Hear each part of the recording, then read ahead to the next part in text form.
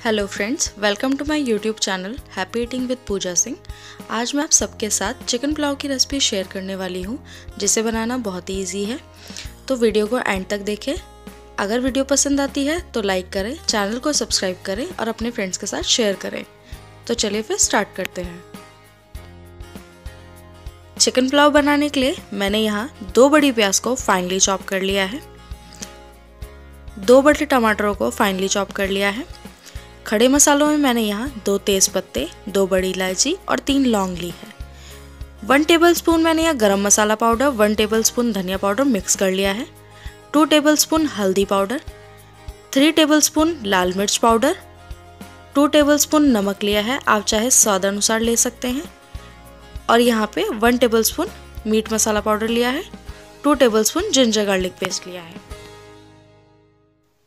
मैंने यहाँ कढ़ाई में दो बड़ी करछी तेल डाल के गर्म कर लिया है और इसमें खड़े मसाले डाल के सॉटे कर रही हूँ।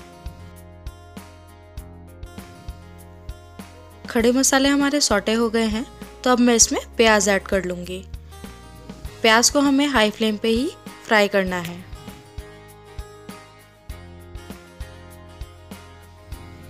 प्याज को मैंने चार से पाँच मिनट फ्राई किया है, उसका कलर थोड़ा चेंज हो गया है तो अब मैं इसमें जिंजर गार्लिक पेस्ट ऐड कर लूँगी।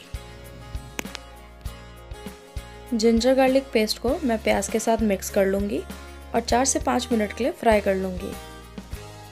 तो चार से पाँच मिनट हो गई है, प्याज का कलर चेंज हो गया है तो अब मैं इसमें चिकन ऐड करूँगी। ये मैंने एक के जी चिकन लिया है, जिसे मैं अच्छे से मिक्स कर लूँगी और इसे हम फ्राई कर लेंगे। चिकन को उसके कलर चेंज होने तक ही फ्राई करना है। पाँच से सात मिनट हो गई है और चिकन का कलर भी चेंज हो गया है। तो अब हम इसमें मसाले ऐड कर लेंगे। हल्दी पाउडर, लाल मिर्च पाउडर, धनिया पाउडर और गरम मसाला पाउडर, नमक। अब इन्हें अच्छे से मिक्स कर लेंगे। मसालों को भूनने के लिए मैं यहाँ पे थोड़ा सा पानी भी ऐड करूँगी।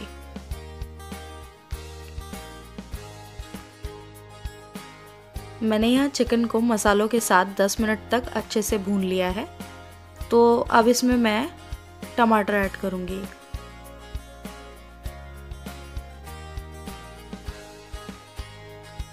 इसे अच्छे से मिक्स कर लूँगी। टमाटर को गलाने के लिए मैं यहाँ थोड़ा सा पानी ऐड कर रही हूँ। फिर मैं इसे ढक दूँगी और पाँच मिनट तक पकने दूँगी।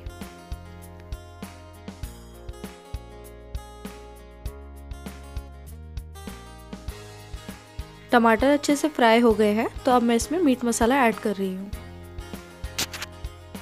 मसाले को भूनने के लिए मैं यहाँ पे थोड़ा सा पानी ऐड कर रही हूँ, ताकि मसाला जले ना। यहाँ मैं थोड़े से धनिया पत्ते ऐड कर रही हूँ। चिकन हमारा मसालों के साथ अच्छे से भुन गया है तो अब मैं इसमें पानी ऐड करूँगी। मैं यहाँ पे ढाई ग्लास पानी डाल रही हूँ।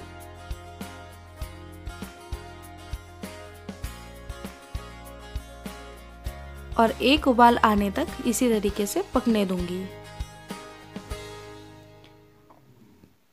पानी में उबाल आ गया है तो अब हम इसमें अपने चावल ऐड करेंगे। यहाँ मैंने हाफ़ के जी बासमती राइस लिए हैं, जिन्हें मैंने 15 मिनट पहले धो के, भिगो के रख लिया था।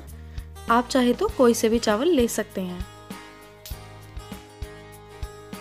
मैंने यहाँ पे दो ग्लास पानी ऐड कर लिया है और हाफ़ टी स्पून एक्स्ट्रा नमक भी ऐड कर लिया है। अब मैं इसे हाई फ्लेम पे एक उबाल आने तक पकने दूँगी।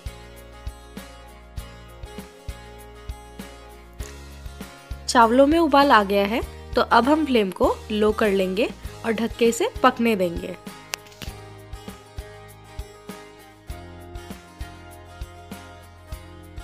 मैं यहाँ नींबू की दो स्लाइसेस फ्लेवर के लिए ऐड कर रही हूँ। ये बिल्कुल ऑप्शनल है, आप चाहे तो ना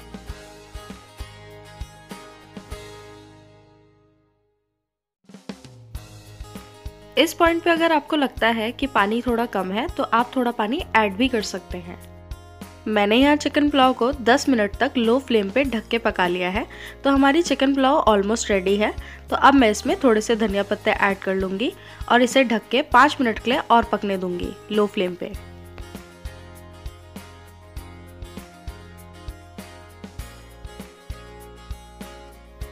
तो लीजिए, हमारी चिकन पुलाव बनकर बिल्कुल रेडी है। तो अगर आपको मेरी ये रेसिपी पसंद आई है तो मुझे कमेंट करके ज़रूर बताएँ, वीडियो को लाइक करें चैनल को सब्सक्राइब करें और अपने फ्रेंड्स के साथ शेयर करें।